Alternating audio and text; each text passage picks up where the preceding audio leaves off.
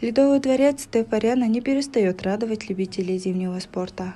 В минувшие выходные в Ледовой арене Монголии прошло двухдневное шоу с участием знаменитых российских фигуристов. В связи с объявлением 2023 год годом посещения Монголии, Государственный комитет по физической культуре и спорту после многочисленных переговоров с Федерацией фигурного катания на коньках России смог привести почти всю сборную России в нашу страну.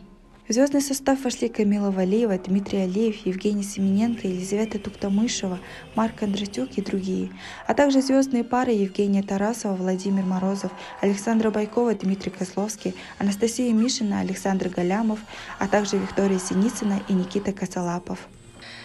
Ледовое шоу, которого ждали очень многие, открыла монгольская фигуристка Отхумбатра Мишель. Из российских фигуристов первым выступила Аделия Петросян со своей победной короткой программой «Вуаля».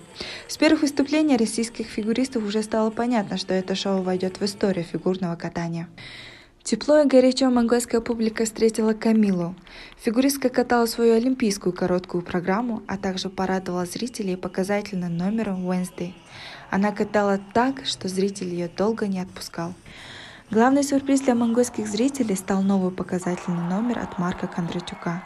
Надев национальный костюм, олимпийский чемпион представил номер, подготовленный специально для монгольской публики, взяв за основу легендарный трек «Чингисхан». Также звездная пара Анастасия Мишина и Александр Галямов подготовили новый номер для монгольской публики. Они вышли на лед под романтичную песню монгольской певицы, что больше влюбили в себя публику.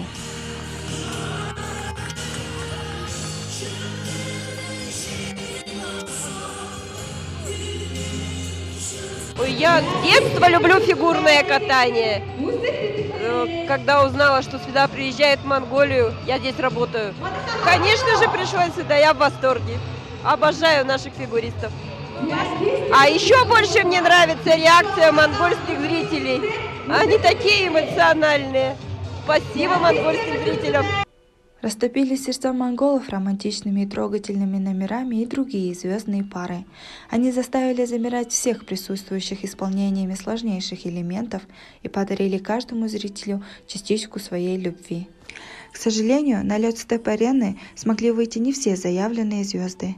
Лучший юниор России Арсений Федотов получил травму на тренировке. Хотя повреждение не очень серьезное, но монгольское шоу пришлось пропустить.